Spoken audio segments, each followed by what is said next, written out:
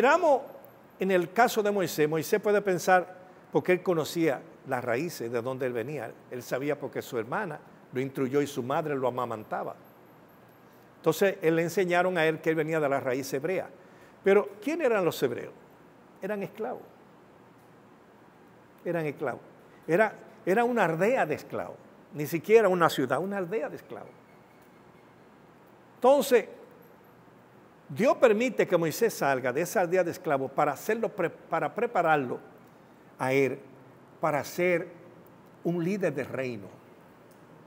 Un líder de reino.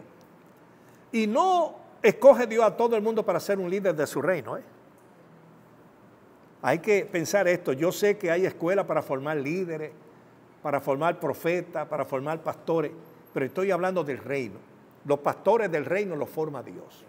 Los líderes del reino los forma Dios.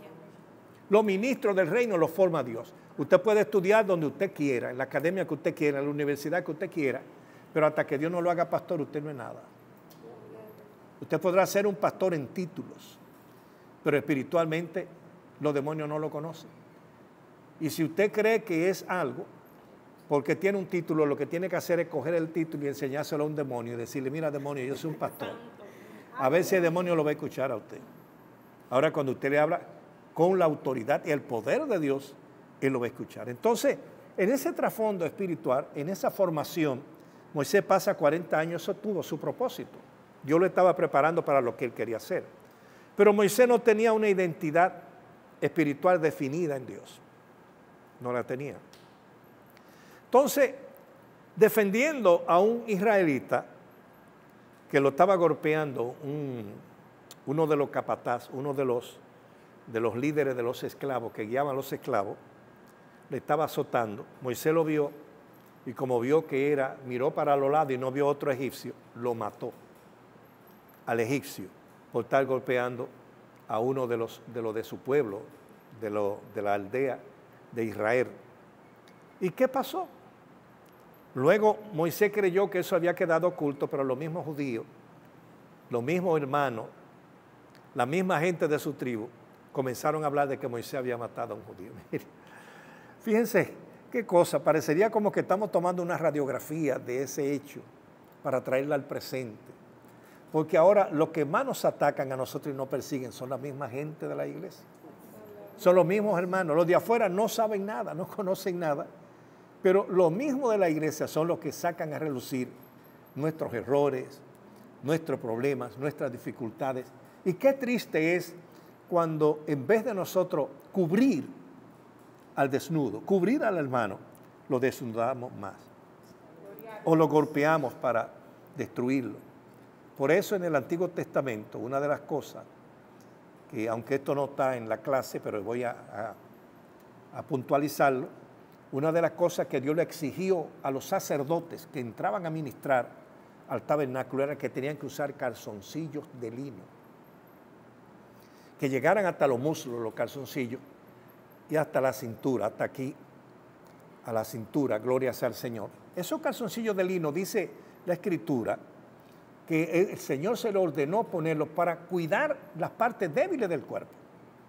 Entonces, nosotros como cristianos tenemos que aprender a conocer ese instrumento físico, ¿verdad? Esa vestidura física para aprender a cubrir las, las cosas débiles de la iglesia y que no salgan a la luz que no salgan a la luz.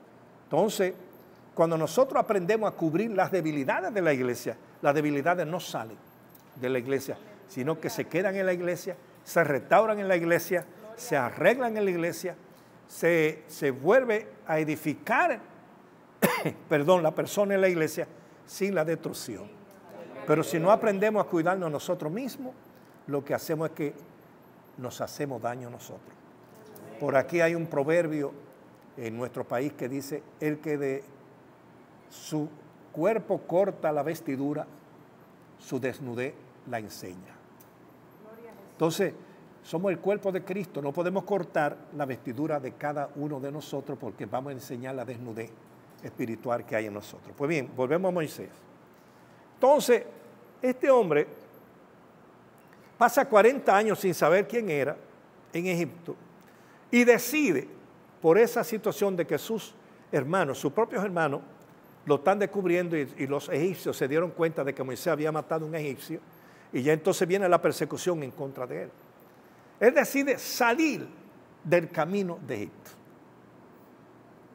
Si no hubiera pasado eso, Moisés hubiera seguido en Egipto. Pero en el trasfondo espiritual, yo creo que Dios quería que Moisés saliera. Y de alguna forma Dios tenía que obrar para sacar a Moisés del camino de Egipto.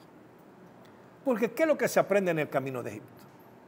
Yo puedo testificarle, por ejemplo, de que hay forma dramática en la que Dios nos saca del camino de Egipto para entonces llevarnos al camino de Él.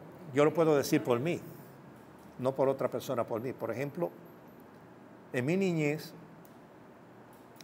nosotros residíamos en la ciudad de La Vega y en la ciudad de La Vega, eh, eh, cerca de nosotros, teníamos una vecina que iba a una iglesia. Yo estaba un niño, uno de 10, 11 años más o menos, y ella iba y me recogía a mí y a mis hermanas y no llevaba a una escuela bíblica los sábados, a una escuela bíblica que había. Y ahí escuchábamos las historias. Pero cuando yo llegué y escuché la historia de Daniel, que fue la historia que más me impactó, la historia de Daniel, yo quería que la predicaran, la hablaran todos los, sábados, de cuando Daniel eh, fue recatado del foso de los leones y cuando iban a matar a sus compañeros que lo tiraron al horno de fuego y el Señor lo, salvó. Esa historia me impactaron tremendamente.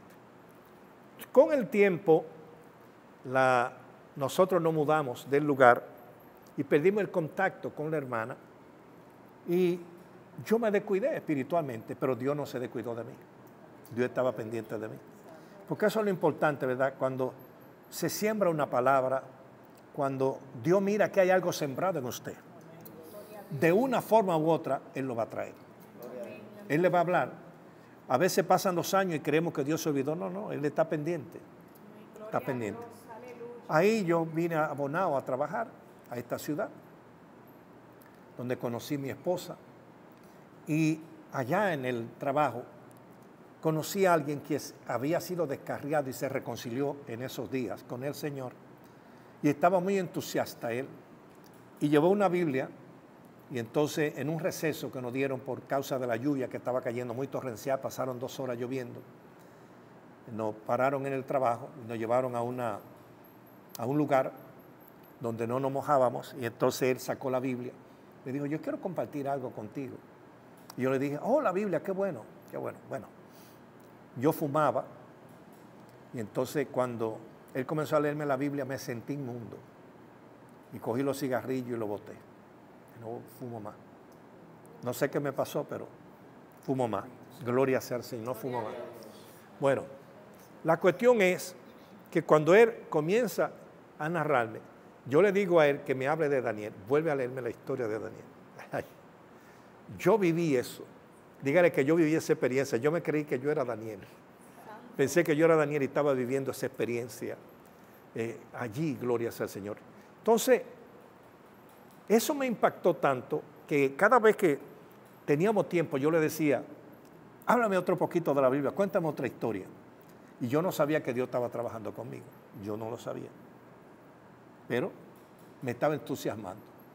Una noche llegué a mi casa, él me dijo, ore antes de acostarse siempre.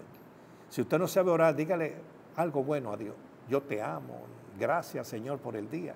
Como yo no sabía orar, Señor, yo te amo. Gracias por este día y gracias por traerme a mi casa. Y me acosté. Me duermo profundamente y veo un ángel que llega a mi habitación. Me sorprendo porque yo nunca había visto un ángel. Y veo ese ángel que llega a mi habitación y se para frente a mí y coge el dedo índice y me hace así.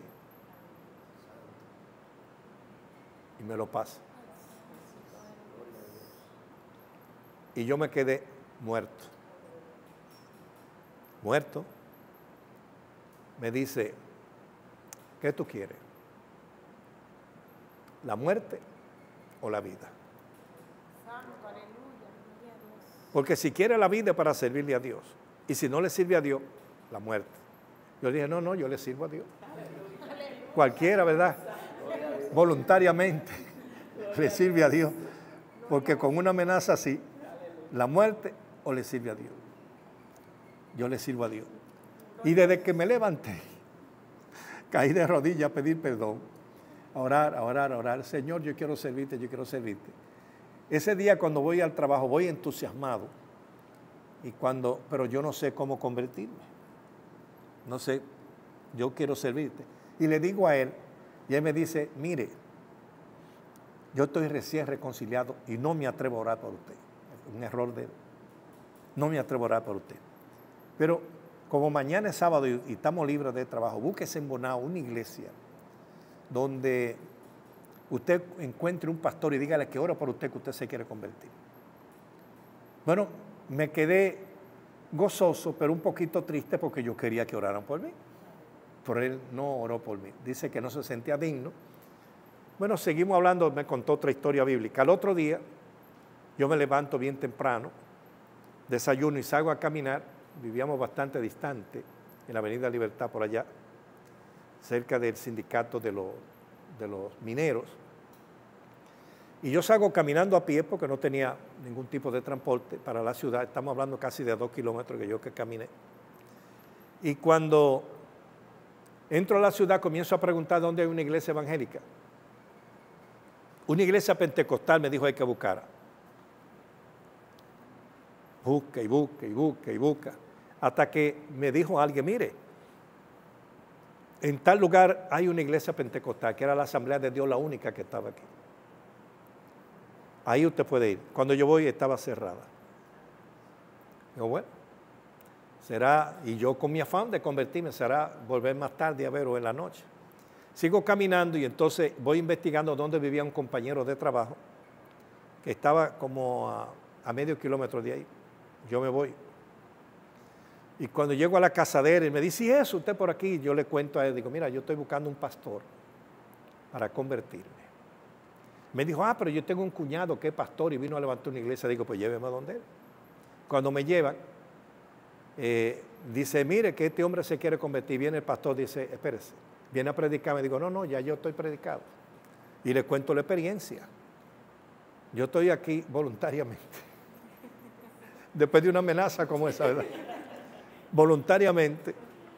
Y yo me quiero convertir, yo quiero recibir a Cristo. Y por eso vine donde usted para que ore por mí. El pastor oró y ahí comenzó la iglesia de nosotros, en la casa de ese pastor. Gloria al Señor. Entonces, no todos los llamados son iguales. ¿eh? No todos los llamados son iguales. Dios llama de diferentes formas, de diferente manera. Y Dios comienza a bregar con Moisés antes de llamarlo. Lo saca de Egipto, del camino de Egipto. ¿Qué es salir del camino de Egipto? Si alguno de ustedes tiene alguna explicación, me gustaría que la digan, si no, entonces vamos a seguir. ¿Qué es salir del camino de Egipto? Es salir precisamente de un camino oscuro, de un camino de, de tinieblas, de un camino de pecado, de un camino de maldad, de un camino de incertidumbre, que usted no sabe a dónde lo va a llevar, de un camino que no tiene futuro espiritual. No hay ningún futuro espiritual en el camino de Egipto. Un camino donde se practica la esclavitud espiritual. Un camino donde ocurren muchos males. Un camino donde hay situaciones conflictivas que nos pueden destruir. Gloria sea el nombre del Señor. Bendecirlos en el nombre del Señor. Y si este contenido de esta plataforma y de nuestro ministerio está siendo de bendición para tu vida, te invitamos a compartirlo. Suscríbete, dale like, comenta y está atento a todo el contenido del ministerio. Recuerda, estamos llamados a lo sobrenatural de Dios. Dios te bendiga.